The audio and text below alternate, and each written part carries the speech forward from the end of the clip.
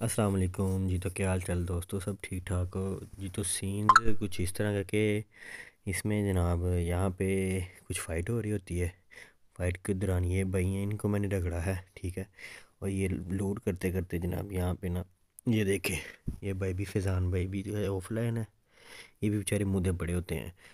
यहाँ पे जनाब मैं थोड़ा सा आगे जाता हूँ, ये भाई चेक करना था ये ना ज़रा स्पाइडर मैन की तरह आते हैं। पहले मेरे से प्रेस ये बच जाता है, वैसे मुझे उम्मीद तो नहीं होती, पर ये बच जाता है, मैं कि इसका इंतज़ार करता हूँ? और ये चेक करें ये क्या करता है? ये चलो, आए, हाय हाय हाय पूरा स्पाइडरमैन की तरह गया, पर नहीं भाई। हम ना स्पाइडरमैन को छोड़ते हैं, ना ही सुपरमैन को।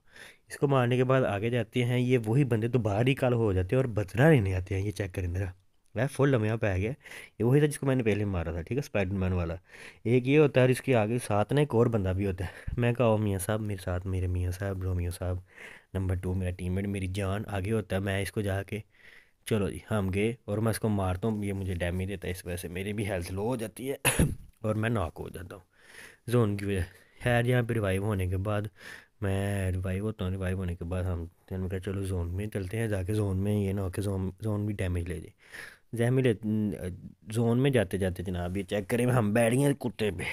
चल भाई कुत्ते, अब बड़ी स्पीड है यार, इस कुत्ते की अखीर स्पीड है। मैं अपने टीममेट को रोकते रोकते, खुदा दा नाई मैनू ला देते मेरा स्टाफ आ गया। यहाँ पे उतरने के बाद जनाब, यहाँ पे दो बंदे होते हैं, मैं क्या चलो मैं इसे मारता हूँ, पर वो पता नहीं कितने जाता है तो ए भाई नंबर ए भाई आते ने, चिली सूर मैनू नाक तो फिनिश पूरा कर जाते ने।